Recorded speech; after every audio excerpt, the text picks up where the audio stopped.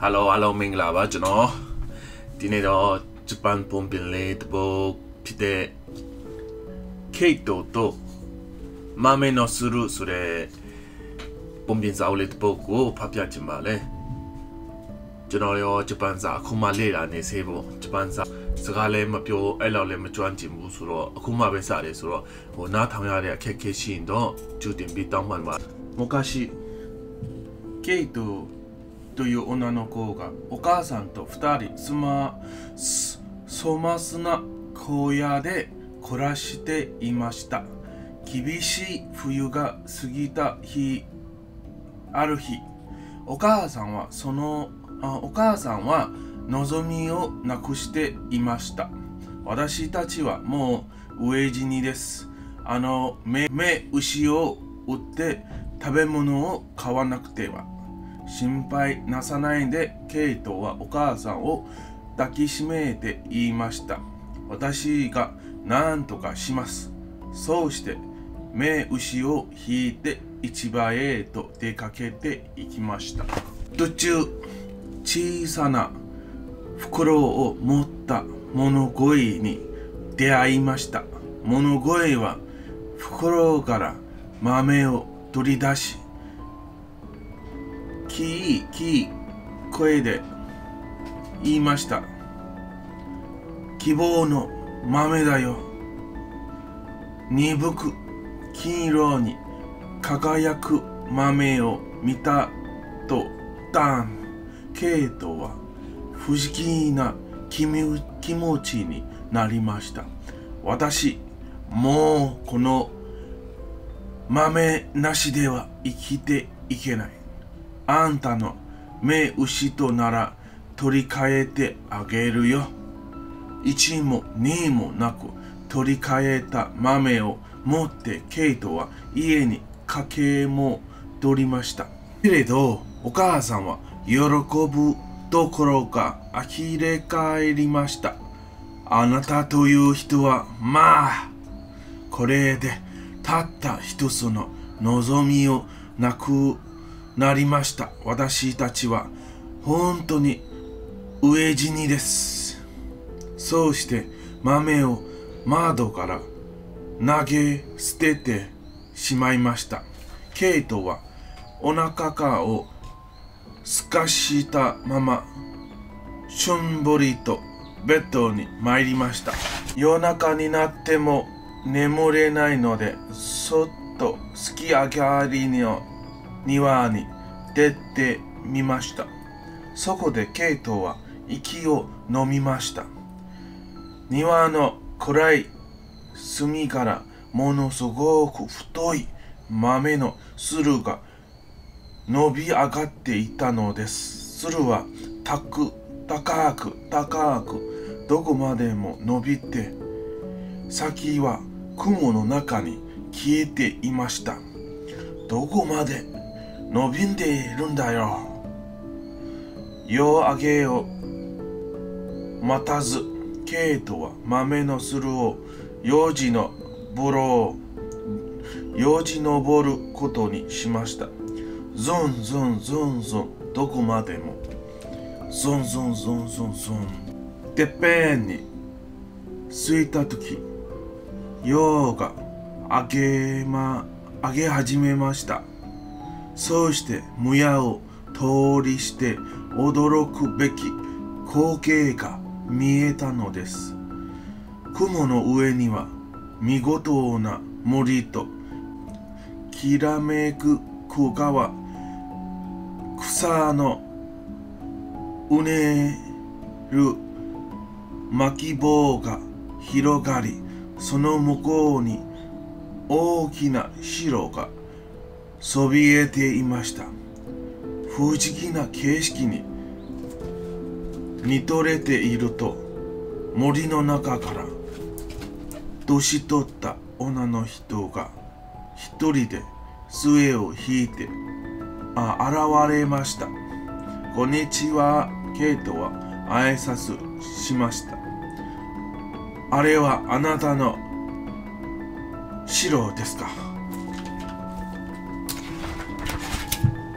いいえ、違います。あの人は答えました。昔あの城には、気高い生地と美しい妻が住んでいました。二人は赤ん坊を一人、そうしてたくさんの宝物を持っていました。けれど、ある日、化け物のような大男が現れ、生地を殺し、城を乗っ取ったのです。まあ、恐ろしい。運よく谷間に出かけていまいた妻と赤ん坊は助かりました。城に帰ることを恐れた妻は下界にとどまり悲しみをこらえて子供を育てています。けれど二人は今貧乏のどん底です。飢え死にに仕掛けているのです。なんでお気の毒なそれはそれは気の毒な暮らしです。女の人はケイトの目をじーっと見つめていました。も、もしかしたらあなたは今までに起こったひどい出来事を立て直すことができるたった一人の人かもしれませんよ。え？この私が？そう。恐れているのですか？いえ、ちょっとも。だって、大男からお城を取り戻すのは正しいことですもの。恐れることは何もありません。さあ、私はどうしたらいいでしょう？記事は未数の宝を持っていました。金の卵を産む面取り。金貨がぎっしり詰まった袋。そうして世界一不思議なハープ。あなたがもしこれやすべてを見つけて、生地の妻に変えてあげたら、親子は飢え死にしないで済むのです。ケイトは深呼吸をして答えました。私やってみます。とと、年取った女の人に別れの挨拶をしてケイトは大股で巻き場を横切っていきました。城に近づくと大女が飛び出してきました。そのあんだ、そのあんだ、ですだって大女は仮名きました。うちの亭主は朝から晩まで私をよりにこき使うの。そこで私がお手伝いを雇うと必ずバリバリ食べちゃうの。私、あなたの手伝いになります。その代わり、大男からは守ってくださいね。ケイトは日が昇るまで大女の料理を手伝いました。大男が食堂に降りてくる音が聞こえるとケイトは震え上がりました。足音はまるで大棒が轟くようでした。隠れて大女はささやき、ケイトをと、と、戸棚に押し込みました。鍵あなたからそっとつくと、フィファイ、フィファイ、フィファも、匂いぞ、匂いぞ、イギリス人の血の匂い、生きているような、生きていようが、死んでいろうが、骨ごとひど一人でパンにしてやる。バカなことを言わないんで、大お腹言いました。ベーコンの匂いでしょう。あんたの朝ごはんにワゴンいっぱいフライにしたのとよ。あ、そうか。朝ごはんが済むと大男が言いました。生地の面取りを連れてこい。大女は小さな茶色の面取りを取り出しました。うめえ男が命令すると、面取りは金の卵を一つ産みました。はははははは。盗んだ愛しいの面取りちゃんよ。そのうちに大男は頭をカクンと下げ、雷のような息をかいて眠っていました。ケイトはそーっと戸戸棚から舞舞い出しました。面取りを奪ってケイトは白を抜け出しました。巻き場を横切り、横場を横切り、豆するまで駆け押しました。そしてスルを伝って降りていき、ストーンと庭に着きました。ああ、よかった。お母さんが気がつかなくて、ケイトは面取りにささやきました。ここにじっといるのよ。お前を大きいのどこな生地のおか奥さんに返してあげるまで面取りをやぶやぶに隠してケイトはそっと家に参りました。城に戻るには変装しなければなりません。その日の晩はカスラとスケ曲げをつけ月上げ上がりの庭に死のびてました。そしては豆のスルを4時のぶっていきました。ズンズンズンズンズン。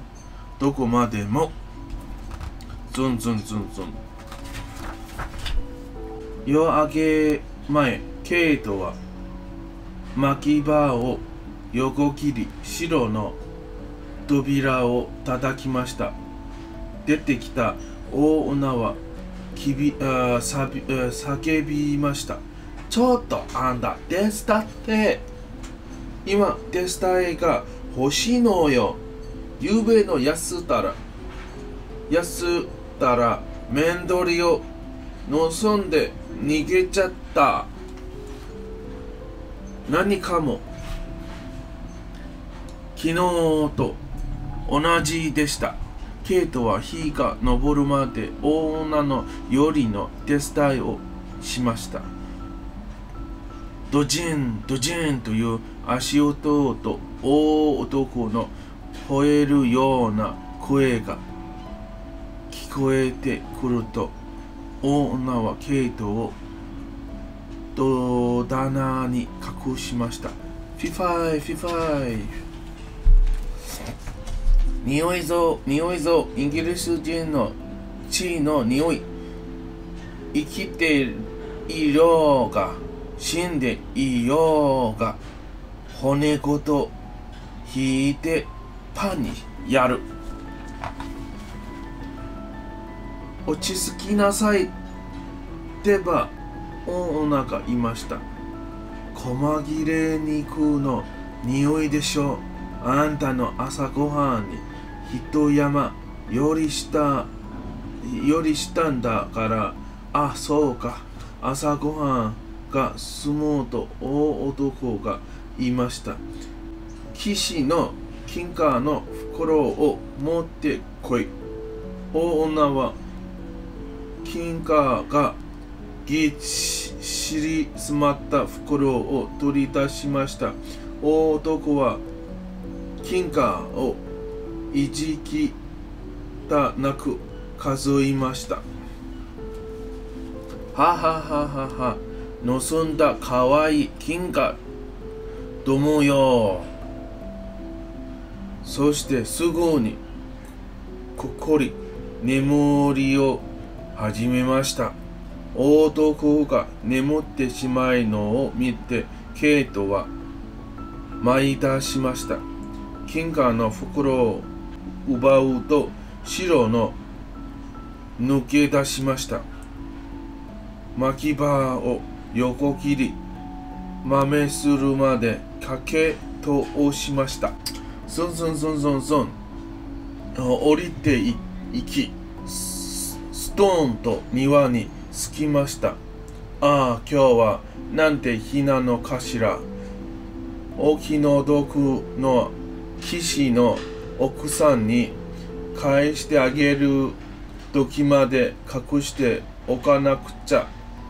金貨の袋を面取りと衣装に隠してからケイトはそっと家に参りました。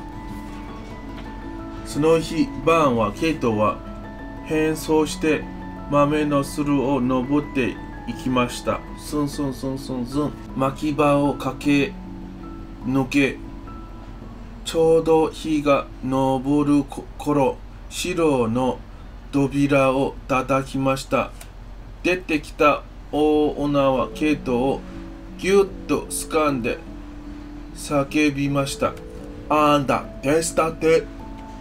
今、手伝いが欲しいのよ。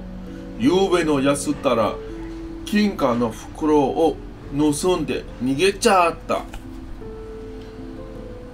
まだまだ前の日と同じでケイトは大女のよりの手伝いをしました。ドジンドジンと大男の足音が聞こえてくると大女はケイトをドドナに隠しました。フィファイフィファイフィファーファー。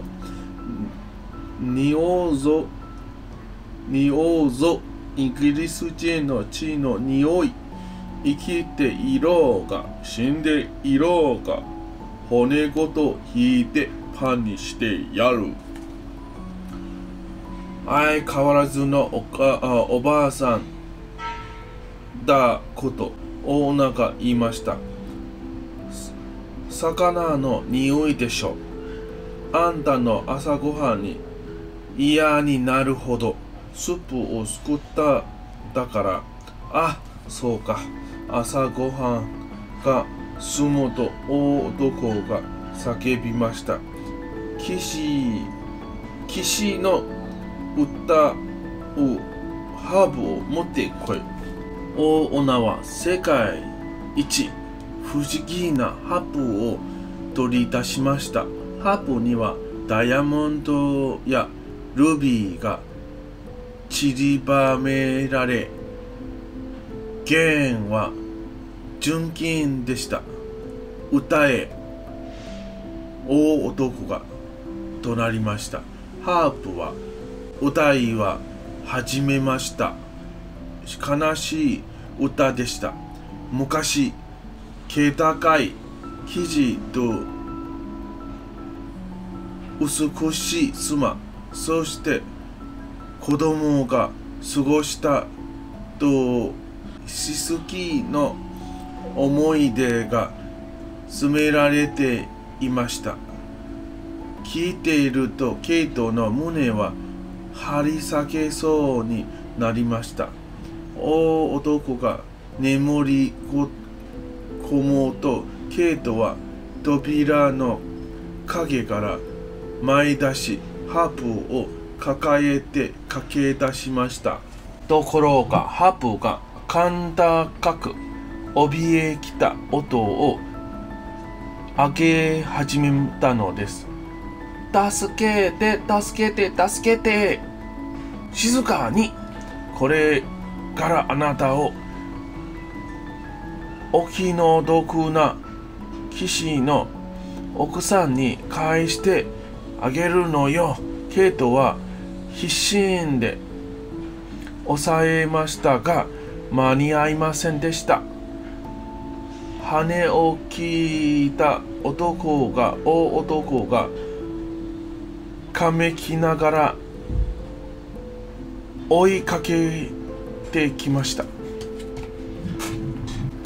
ケイトは風のように巻き場を駆け抜けました。豆のするをつかみ、ハープを抱えて折り始めた時、大男はすぐ後ろに迫ってきました。ゾンゾンゾンゾン。ケイトは降りていきました。ゾンゾンゾンゾンゾン。大男が後ろから降りてきます。地面に足がついたと、ダン、ケイトは叫びました。お母さん、斧を早く。お母さんは斧を持って走ってきました。ケイトは斧を掴もうと。離れてお母さん。一撃で豆のスルーを叩き切りました。電をすく豆のスルーは風を巻き起こしみるみる崩れ落ちました。ドシン落ちてきた大男は首の骨が折れていました。地面の地震のように揺れました。男を一目見たお母さんは恐怖の叫びを上げました。これはあなたのお父様を殺した男です。私のお父様？お母さんは答える前に庭のくしゃくに引かけ引かせた車に乗って余生がやってきました。おめでとう。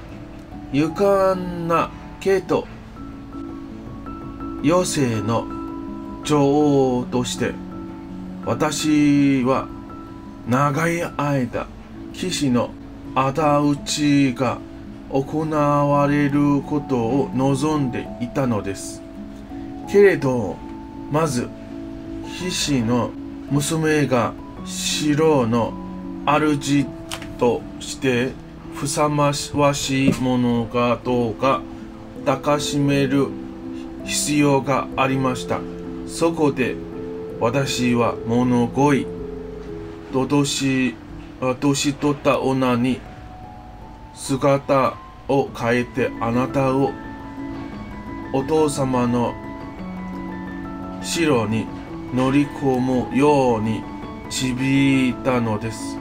私のお父様の城、ケイトはお母様を振り返りました。お母さんはうなずいていました。あなたには殺されたお父様のことは決して話さなかったのです。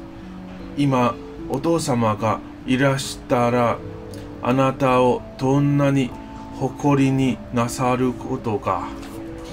ケイトはお母さんはしっかりと抱き参りました。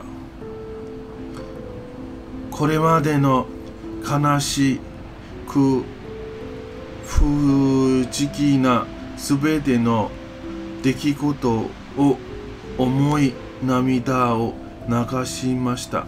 それから二人は余生の車に乗り、雲の上の自分たちの城と帰っていきました。ゾンゾンゾンゾン。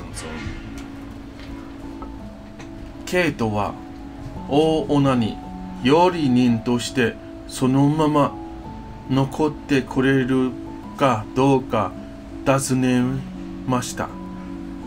ご親切にありがとうございます。おー、女は言いました。ビスケットとジャムはいかがですか？まあ嬉しいたいただきます。ケイトとお母さんが答えると大女は目牛くらいある大きなビスケットと作ってくれました。いワビー。ちょろパターが လေပါဇက်ကမရဘူးရှာကအရန်လေးတယ်ဘယ်လိုပြောမလဲအထိုင်မကြောက်ဘူးကွာစကားတိတ်မပြောတဲ့အလုပ်ကြီးပဲလုပ်လာတော့အခုစာဖတ်ပြရတာလဲအာရှာကတိတ်လဲဟိုဖတ်ရတာလိတ်လိတ်ပြီးဖြစ်တယ်လို့ဖြစ်တယ်ဒါမဲ့လဲအဆုံးထိနားထောင်ပေးတဲ့အတွက်ကြောင့်အများကြီးကျေးဇူးတင်ပါတယ်နောက်ခါကြိုင်လဲဒီတက်ပူပြီးတဖြည်းဖြည်းနဲ့ပေါ့နော် ဟိုကျွန်တော်လည်းကြောင်းကျင်သွားမယ်လို့ထင်ပါတယ်အဘေးကိုညီတဲ့အတွက်ကြောင့်ကြီးစုအဘေးတဲ့အတွက်ကြောင့်အများကြီးကျေးဇူးတင်ပါတယ်ကျေးဇူးအများကြီးတင်ပါတယ်ခင်ဗျာ